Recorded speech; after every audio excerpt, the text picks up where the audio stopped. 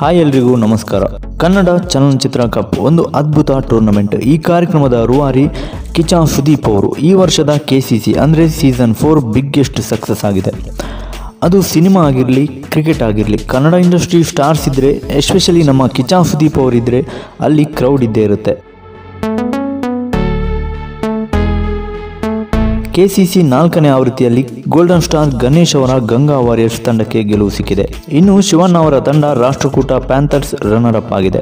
ಸ್ಯಾಂಡಲ್ವುಡ್ನಲ್ಲಿ ಯಾವಾಗಲೂ ಇದೇ ರೀತಿ ಯುನಿಟಿ ಇರಲಿ ಅಂತ ಹೇಳ್ತಾ ಕೆಸಿಸಿ ಆಡಿದ ಎಲ್ಲ ಕಲಾವಿದರು, ತಂತ್ರಜ್ಞರು, ಪತ್ರಕರ್ತರು ಹಾಗೂ ಇಂಟರ್ನ್ಯಾಷನಲ್ ಕ್ರಿಕೆಟಿಗರು ಎಲ್ಲರಿಗೂ ಅಭಿನಂದನೆ ತಿಳಿಸ್ತಾ ಮುಂದಿನ ಸೀಸನ್ ಕೂಡ ಇದೇ ರೀತಿ ಸಕ್ಸಸ್ ಕಾಣಲಿ. ಜೈ ಕರ್ನಾಟಕ, ಜೈ ಕನ್ನಡ ಸಿನಿಮಾ ಇಂಡಸ್ಟ್ರಿ